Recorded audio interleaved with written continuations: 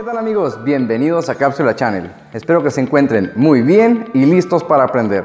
El día de hoy traemos una práctica de laboratorio donde estaremos hablando acerca de los tipos de materia y sus cambios. Así que suscríbete y comenzamos.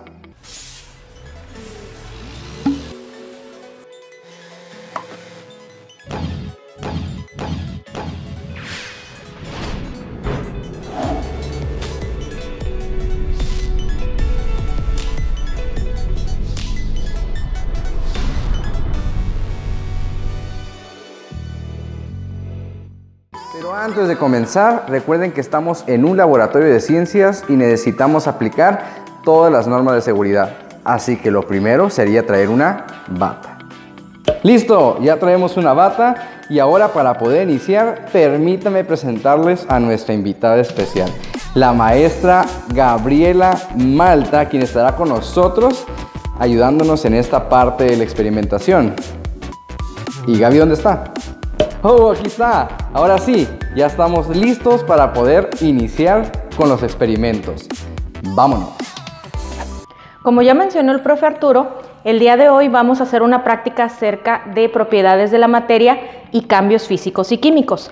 En el caso de los cambios físicos y químicos, eh, tenemos de dos tipos. Cambios físicos, que son aquellos que no modifican la estructura de la sustancia, y cambios químicos, que son aquellos en los que sí se modifica la estructura molecular de la sustancia. En el caso de los cambios físicos, podemos tomar como ejemplo el triángulo de cambios de estado, donde podemos observar el cambio de líquido a gas, de gas a sólido y de sólido a líquido. Un ejemplo que podemos mencionar sobre cambios físicos está un cubo de hielo. El cubo de hielo, mientras lo tenemos en congelación, se encuentra en estado sólido. Su forma no se modifica a menos que modifiquemos alguna variable, en este caso sería la temperatura. Al aplicar temperatura, una temperatura más alta, sus moléculas van a comenzar a moverse y se transformará en estado líquido y lo podemos ver cuando el hielo se derrite. Si seguimos aplicando calor, podemos ver cómo el hielo que se derritió cuando se transformó a líquido, va a comenzar a evaporarse, va a comenzar a transformarse en gas debido a este movimiento molecular. Pero en los tres estados va a continuar siendo moléculas de agua, por lo que no ocurre un cambio de tipo químico, sino que simplemente se modifica la forma con la que lo estamos observando. Un ejemplo de un cambio químico sería cuando cocemos un huevo. Tomamos el huevo, lo ponemos en agua que se encuentra hirviendo, lo dejamos 10-15 minutos y cuando sacamos el huevo, el huevo ya está sólido. No hay manera de regresar el huevo a su estado original. Allí ocurrió un cambio de tipo químico, ya que las proteínas que posee el huevo han sido desnaturalizadas, por lo que no se pueden regresar a su estado original. Ya hubo un cambio de tipo químico. Vamos a comenzar con el experimento 1, tipos de cambio. Para el primer experimento necesitamos un bloque de madera, un vidrio de reloj, acetona y agua.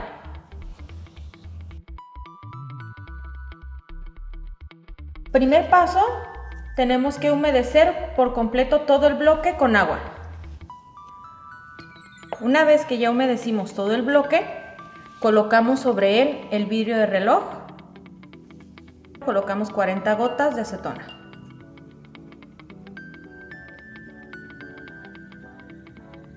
Una vez colocadas, tenemos que esperar a que se observe el cambio y lo vamos a visualizar entre el bloque y el vidrio de reloj. Aquí podemos observar que se ve cómo nuestro vidrio está empañado. Si lo tomamos y revisamos la parte de abajo, aquí sobre la parte de abajo podemos ver las gotas de agua que se han condensado por la diferencia de temperaturas. ¿Qué fue lo que pasó en este caso? Como pudimos observar, el vidrio de reloj se encuentra empañado. Podemos este, observar las moléculas de agua que quedaron condensadas que vienen del bloque. Si nosotros tocamos el vidrio de reloj, podemos percibir que está frío. Debido a esa diferencia de temperatura, ya que el bloque se encuentra a temperatura ambiente, las partículas de agua comienzan a evaporarse. De hecho, podemos notarlo porque el bloque ya se observa un poco más seco. Esas partículas comienzan a evaporarse, chocan con el vidrio, el vidrio se encuentra a una temperatura más baja, lo que provoca que el vapor se condense y se transforme en estado líquido. por lo que podemos llegar a la conclusión de que se obtuvo un cambio de tipo físico. Para el siguiente experimento de cambio físico necesitaremos un mechero, espátula, tubo de ensayo, pinzas para tubo, gradilla, cerillos y yodo.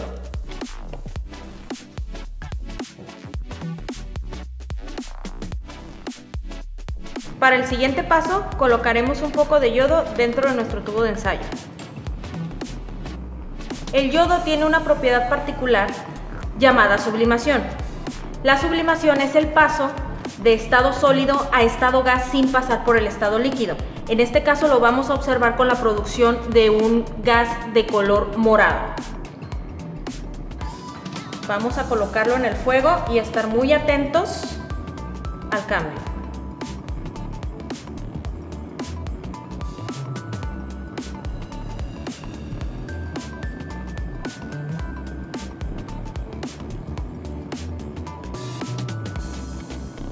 Ahí podemos observar todo lo que observamos de color morado.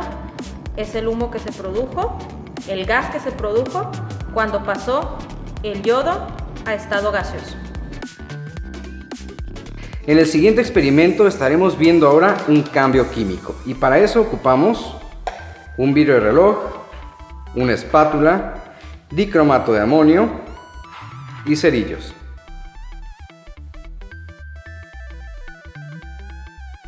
Lo primero que haremos es poner bastante cantidad de dicromato de amonio en este vidrio reloj.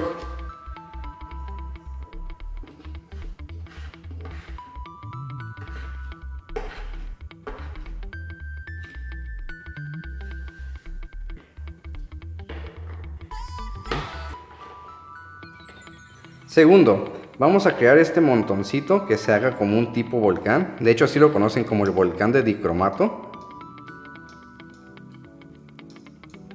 Y vamos a observar los cambios químicos. El cambio químico, como comentamos, se ve afectada lo que es la estructura interna del dicromato. Este dicromato al momento de hacer combustión cambiará completamente su fórmula. Si pueden observar, la dejaré aquí abajo la reacción para que vean cómo va a cambiar la estructura. Prendemos un cerillo y lo vamos a poner en la punta del volcán.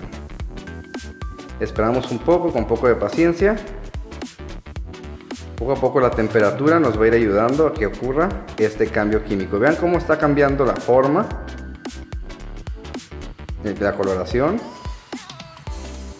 Y listo, observemos el volcán.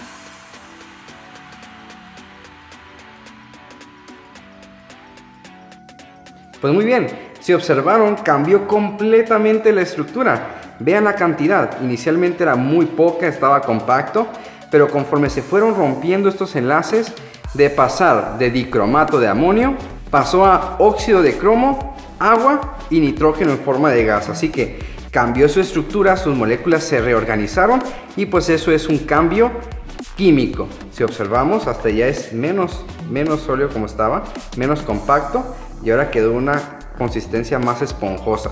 Así que esto sería un cambio químico. Vamos con el siguiente experimento.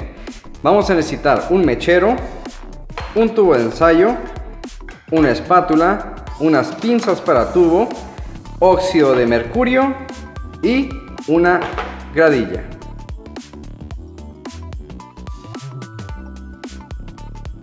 Paso 1. Prendemos el mechero con todas las medidas de seguridad. Paso 2. Vamos a agregar un poco de óxido de mercurio a nuestro tubo de ensayo, con mucho cuidado. ¿Sí? Tenemos óxido de mercurio. Vean el estado, es un estado sólido, Vean la forma que tiene, vean la coloración y al momento que este tubo se va a poner en un contacto con calor, vamos a ver qué pasa. Poco a poco vamos a ver cómo va liberando un gas. Ese gas es oxígeno, como estaremos dejando aquí abajo la reacción química. Está cambiando de una coloración rojiza a una coloración más oscura.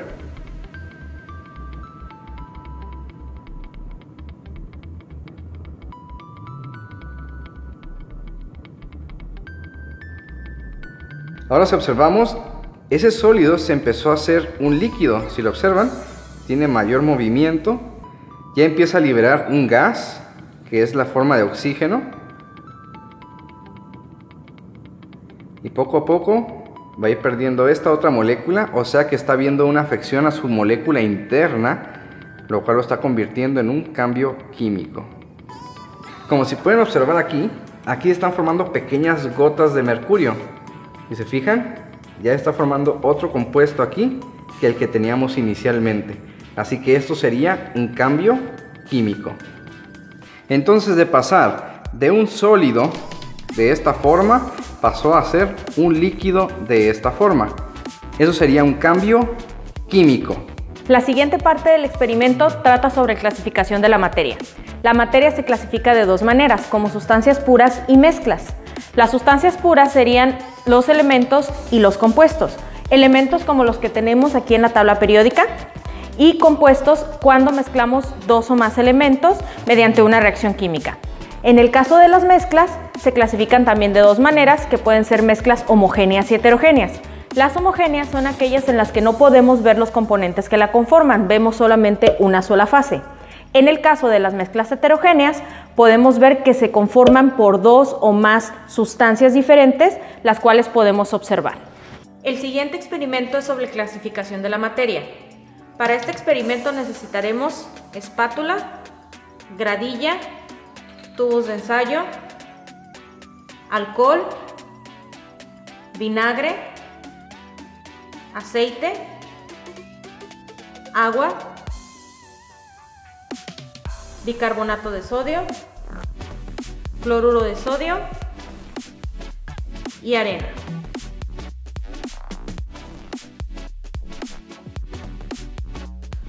Como primer paso vamos a numerar nuestros tubos de ensayo. Colocamos los números 1, 2 y 3. Al tubo 1 se le agregan 40 gotas de vinagre y una pizca de bicarbonato de sodio.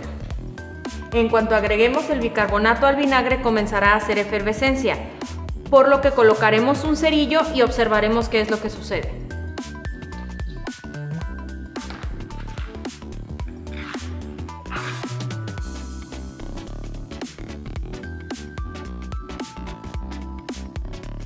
El cerillo se apagó justo al momento de entrar en contacto con el tubo porque se produjo dióxido de carbono. El dióxido de carbono está formado por carbono y oxígeno, dos átomos de oxígeno. En este caso se formó un compuesto. Al tubo 2 se le agregan 40 gotas de agua y una pizca de cloruro de sodio. Ahora agitamos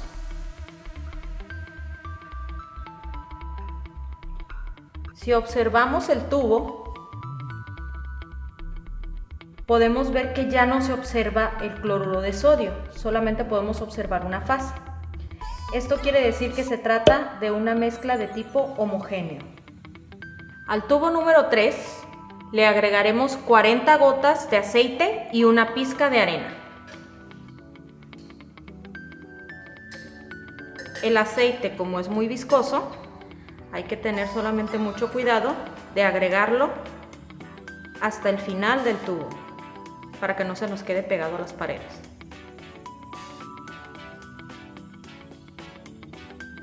Ahora agregamos la pizca de arena.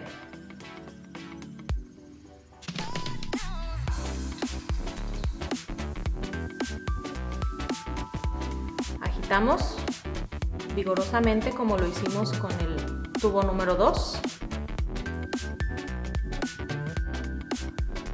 podemos observar que por más que agitamos y agitamos y agitamos, no se mezcla la arena y el aceite. Por lo que podemos decir que esta mezcla es de tipo heterogéneo. Podemos observar los dos componentes que la conforman, la arena y el aceite. Otro tipo de mezcla que estamos hablando de las mezclas homogéneas, heterogéneas y los compuestos, pues aunque no parezca, nuestra sangre también es una mezcla.